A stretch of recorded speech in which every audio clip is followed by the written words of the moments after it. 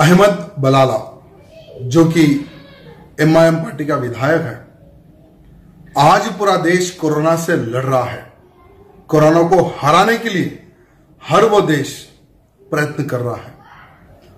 एक तरफ़ सारा देश है, दूसरी तरफ़ ये एमआईएम के विधायक, अहमद बलाला हो, या और भी विधायक हो, या एमआईएम पार्टी के कार्यकर्ता और कॉरपोरेटर्स ना लॉकडाउन का ये लोग पालन कर रहे किसी की लोग नहीं सुन रहे। पुलिस को धमकियाँ दे रहे, डॉक्टर्स को धमकियाँ दे रहे। इनके कार्यकर्ता हमलाएँ कर रहे। लॉकडाउन का खुलेआम उल्लंघन कर रहे। ये एक अहमद बलाला का इश्यू नहीं है जो उसकी विधानसभा में लॉकडाउन का उल्लंघन कर रहा है, दुख शॉप्स खुलवा रहा है और मस्जिदों में नमाजें पढ़वा रहा है। ये एक नहीं, वो सारे के सारे विधायक इसी प्रकार का कार्य कर रहे हैं।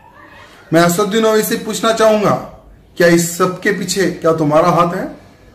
एक तरफ़ तुम साफ़ सुथरी है मेरी छवि, इस प्रकार से मीडिया में अपने आप को प्रोजेक्ट करते हो। दूसरी तरफ़ अपने विधायकों को, अपने कॉरपोरेटरों को यह आदेश देते हो कि लॉकडाउन का उल्लंघन करो, कोरोना वायरस को और फैलने दो अपने अपने क्षेत्र में, अपने अपने अपने विधानसभा क्षेत्र में।